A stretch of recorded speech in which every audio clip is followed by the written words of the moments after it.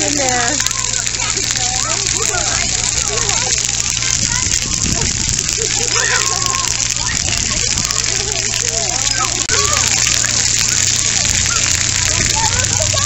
Go, go in the water, Johanna.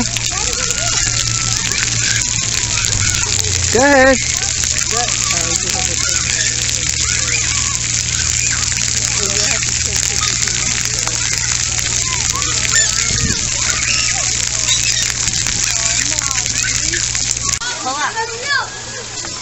Up.